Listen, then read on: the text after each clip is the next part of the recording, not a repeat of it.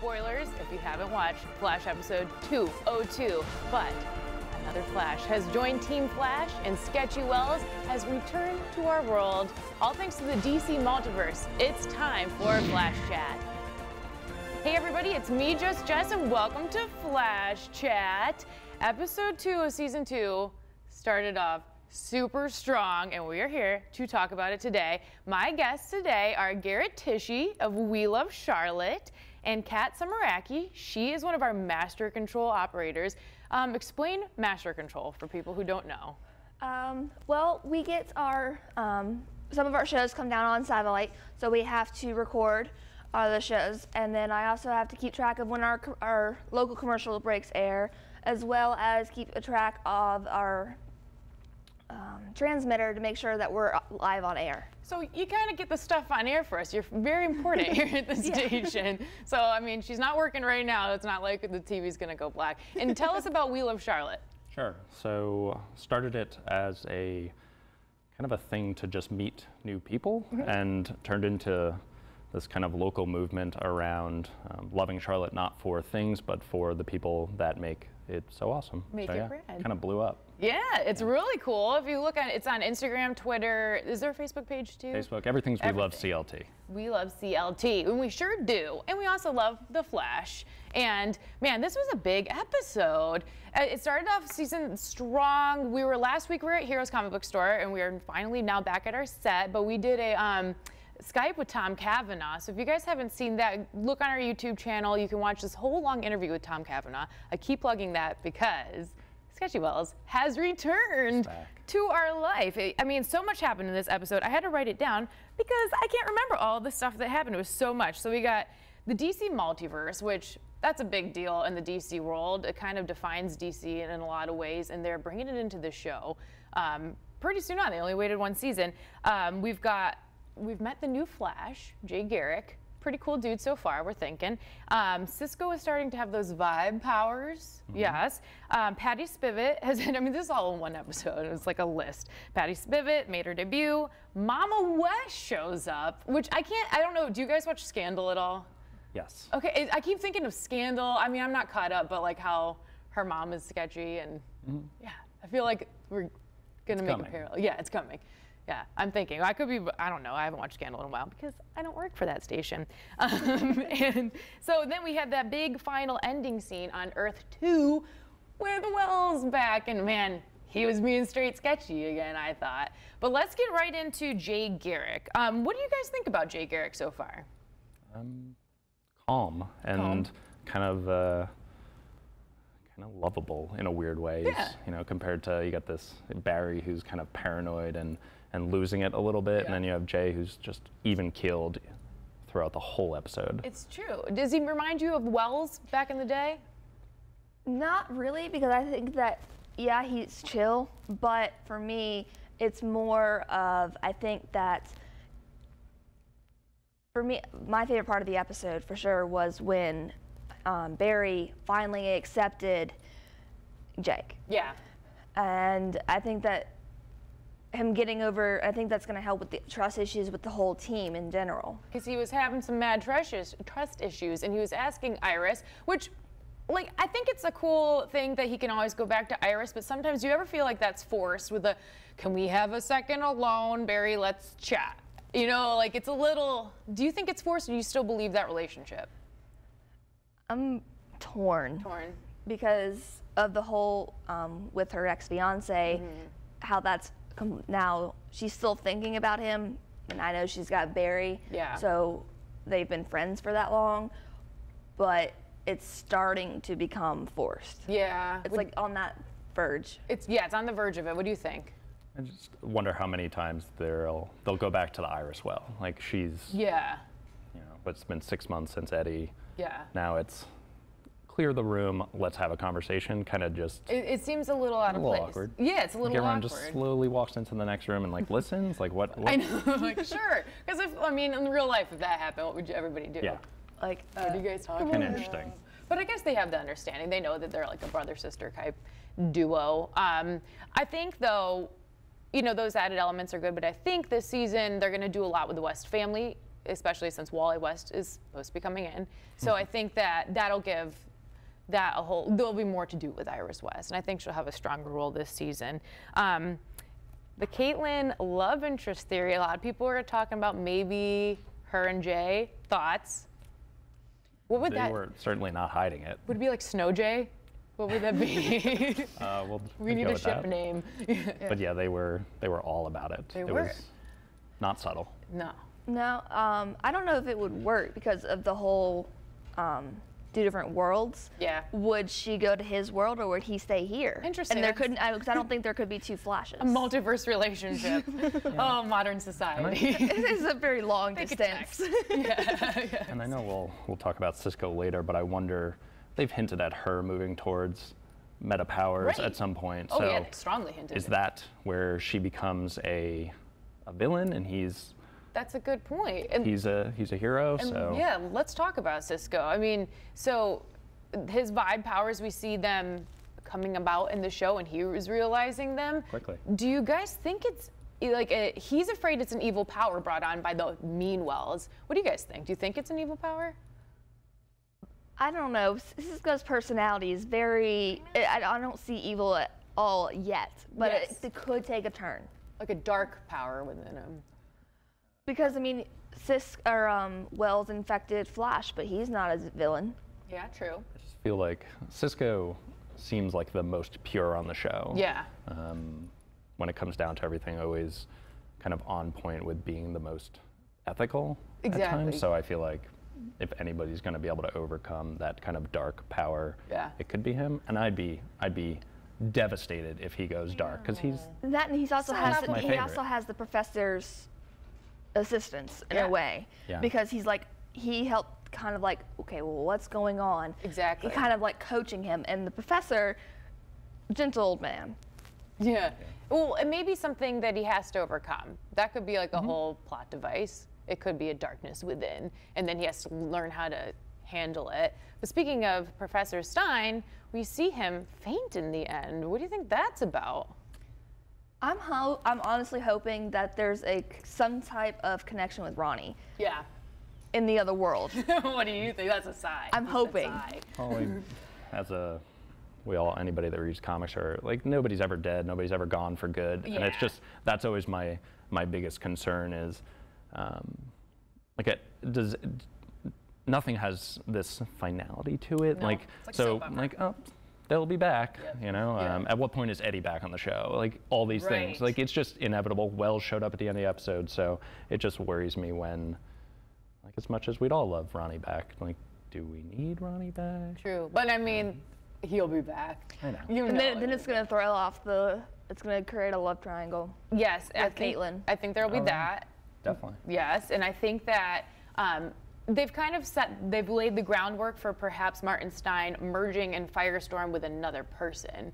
So maybe maybe him fainting is something. They, there's been rumors. I don't know. If, I maybe I just read one rumor and that's why I took that as fact. But there is a. Um, there's some. Uh, my thought when I saw that scene is maybe him fainting is kind of he's because he, says something like let's put our heads together well not literally and so i'm thinking maybe he needs another life force within him to keep him okay. And so maybe he- they'll find somebody who's willing to firestorm it up with him and make another like duo. And, and so i thought maybe like the fainting was a sign that they'll figure out he needs another firestorm. Because he's, that's possible. I we'll see see. I like predicting things and i like when it comes out Or- true. Remember too, with Earth Two, there's another version of all of them. exactly So Ronnie's somewhere in Earth Two. or there could be 52 other versions Yes. of all of them. Yeah, 52. God, so it's okay. That's my question too the DC multiverse. Is it a little too confusing for D, for TV? Do you guys think it's too confusing? I think they hit parts of it, but there's no way they're gonna be able to get all of it. Yeah. I think we'll inevitably see full episode Earth Two Yeah. episodes where we just don't see, you know, Earth One Barry, Iris, that whole crew, and it's just so as long as they spend that time and show it a little bit of respect Yeah. that we should care, I think it won't get too confusing. Man, It's coming. It could, it could get real. It could get 'Cause, I real mean, weird. You know how the professor's working on the whole, I I guess I'll say the wormhole, mm-hmm. and so eventually, it doesn't mean I don't, I don't think they're gonna figure out anytime soon, but eventually they're gonna figure out and then they're gonna try and send things back and Oh, forth. yeah. Oh, Definitely. nonstop. Yeah. It'll be like now you can get your groceries at Walmart without. That's what made me think of. You can you can just call right in, get your gro- you can call right up to Earth Two and be like, I'm gonna send my kid here, so my other self can watch it, and we don't that'd be a whole system you could work out. What'd you guys think about Patty Spivot? I liked her. She was fine so far. It was it was quick trust developed. Um, Yeah. They made they made the uh, Monty Python joke together, so I think Yes. that bonds that bonds a couple. I think. Well, they rumored that she will be a love interest for Barry. How do we feel about that? Do you think? I feel like. Here's my opinion. I think Barry should maybe date outside of his like group of friends. The little group. Yeah. Yeah. And it's It, it gets tricky. It does. and yeah. now she's again developing a relationship with Iris's dad, and Yeah. then it's just It's back to the It's that. right back to it. Stop dating on the she's police. going to be in the line of fire. She's she's you know Yeah. now an issue. I'm just here we go again. Yes. Predictions. How many episodes will it take her to figure out Barry is the Flash? I think they'll quickly bring her into the fold. Really? I Really? think they have to. Okay. I'm hoping they don't Yeah. because um, For another Iris scenario. yeah. Takes a full season. I think they'll bring her. But you're hoping they don't because why? Um, I don't know. I just want more of the build the complex rather than just bring it straight in. Yeah. I want to see more of the connection that he has with um, Iris's dad, Mm-hmm. and then because remember at first he didn't understand the whole Flash thing. He was slowly brought in. Yeah. So I'm kind of hoping that happens the same because they don't know her. Yeah. They they just found out the reason why Mm-hmm. that she wants to be on the team. Yeah. And so like the yeah the trust is there for to be on the team, but that's a whole nother world like another something for someone to understand. It is. It's a lot. She was oddly convenient placing in the episode. Like she was just Yeah. showed up right when she needed to, yeah. you know, take down um, and I, I'm honest. Sand Demon and stuff like that. so- Exactly. Did you guys like that iconic scene with the flashes of two worlds running? So, wait, at a I was slow waiting pace. for it. Yeah, you're waiting for it. Well, I didn't know they were going to recreate the scene. I thought they just did it for the poster, but Yeah. good for them. That Yeah, was cool. It was cool. I think they probably have a lot of fun with that kind of stuff on the show. I'm sure there's probably more than we all even realize. Oh yeah, I think so too. I miss a lot of the Easter eggs, and I enjoy watching them. I liked the Easter egg last week in Arrow. I won't say it in case people haven't seen it, but you can just look on my Twitter. I put a screenshot of it. Um, Arrow is tonight at eight, so watch that. Um, so the biggest thing I thought, where I literally yelled at the TV, was at the very end when we see Sketchy Wells. And it was, ah, man, first of all, Earth 2 is looking pretty sweet. It, mm. it was a pretty cool setup, but then they, this show has a real good way about bringing all the feels at the very end of the episode. And I'm sure they have a lot of fun doing that. But I think us viewers at home have even more fun watching. So let's go ahead and just let's check out the scene with Sketchy Wells returning.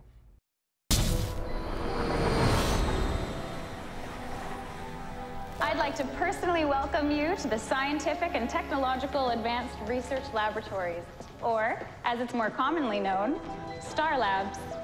Founded in 1991, Star Labs is leading the world in exciting new technological discoveries that, as our motto suggests, are truly bringing us tomorrow's world today, specializing in artificial intelligence, genetics, and metahuman stud. Oh, are we in for an unexpected treat? It is my absolute honor to introduce you to the founder of Star Labs, the savior of Central City, Dr. Harrison Wells.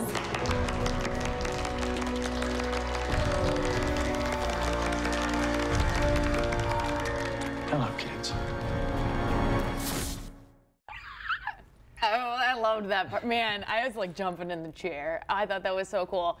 Thoughts? What did you guys think when you saw this scene? Extra creepy. Extra creepy, Yeah. right? You know, hello kids. Hello, like just kids. real. you look delicious or something. Like it was. For me, I was just like, is this Earth 2's Wells or is this Earth 1 Wells? That's a great question, and that's what I was wondering too. I was I was thinking, okay, is Wells kind of like a Zoom, like of all the worlds where there's only one of him? I'm I'm curious because he, I don't know, is he Thawne? I mean, this is where it's going to get a little too much for my blonde head Yeah, to deal if, we, if we remember that in um, Harrison Wells, is the original Harrison Wells wasn't evil. It Yeah. was his, it was the person that was inside of him. I can't remember his name. You that was evil. Yeah. Yeah, Thawne. Yeah. So that's what I'm thinking. I'm like, okay, they sure set it up to make him seem creepy in that scene. Just the way he delivered the line, which man, Tom Cavanagh on point with the acting in this show. He's it's gotta be so much fun too. To play like the hidden layers, but he very well could be in the next scene. Hello, kids. You guys want to go on a ride? You know what I mean? Yeah. So, And I'm I'm nervous with the it you know who Zoom this kind of whole Yes. thing. He's back in again, going back to the nobody's dead. Mm-hmm. Um, I'm just I'm so nervous that they're gonna they're just gonna make him Zoom at some Right. point, and that seems easy and lazy. It So, does. You know, here's a theory out of left field, but maybe, maybe. Um, there's a lot of rumors about Eddie having the talisman from his family and he could be cobalt blue. They could, in some weird world, make Eddie a bad guy, bring him back as the Zoom. Big revelation at the end of the season. We'll see. Because that's all, that's out of left field, but you never know. I Never know. Well, I yeah, I agree with you. I don't want Wells to be Zoom. I think they'll would- inevitably have, you know, the, you know, Barry meets Earth 2, Mm-hmm. you know, Wells, that's going to be this whole, maybe he's good, and we go right back to the trust well. Yeah. I think that could be fun and And, interesting. and maybe Earth 2 Caitlin is the bad Caitlin. When she's the killer frost. oh, there you go. That could do it. Because I mean, they're like um, in um, some one world there's more villains, and one world there's more heroes. Yeah. We never know. There, you don't. You don't. They could be bad, good, multiverses. You never know. It's only episode two, and there's so much to talk about. We should probably be done with chatting today because we'll be, we could be here for hours. But episode three is looking like it's going to be a pretty good one. It looks like they're going to introduce back in the the rogues.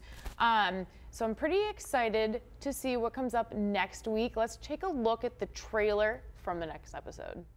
Okay, son, make me proud. Captain Cold has a father. Colonel Cold. Don't worry, I remember our deal. You leave me alone, I make sure no one dies. Oh. I thought I stepped on an ear. The Flash, only next Tuesday at 8, 7 Central on the CW. Ooh. So I like Colonel Cold. That's Yeah. funny. Lots of Halloween costume options. Yeah, I think uh, I'm excited to have the road, the Captain Cold and everyone back. Yeah. I think they're they're always by far the most. They give them the most respect out of villains. Villains come and go in one episode, but it's neat to have them. They've developed their story, so Yeah, and seeing it's, them back is it's good. like they're likable villains or something. I don't know. They're they're above the other ones. They're Yeah. not your they're not your like write off villains. Well, this was a great episode of The Flash, and next week it's looking big. Um, make sure to tune in tonight for Arrow, followed by Supernatural, and then of course the news at 10 and The Edge.